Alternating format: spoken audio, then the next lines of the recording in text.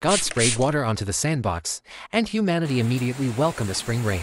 With another spray, the entire earth was covered with green vegetation. Finding it amusing, God began to spray relentlessly. However, the torrential rain quickly turned into a flood, and the tiny humans fell one by one in the disaster. They pleaded desperately for divine protection for their tribes, but the more they suffered, the more fun God found it.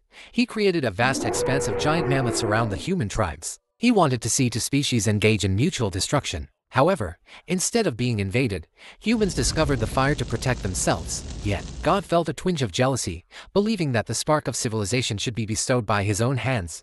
Immediately, he instructed his assistant to extinguish the fire and waved his little finger to command mammoths to attack the human army. Humans had no choice but to desperately retreat into caves, causing civilization to regress by a whopping 3,000 years. In God's time, it was merely a brief three minutes.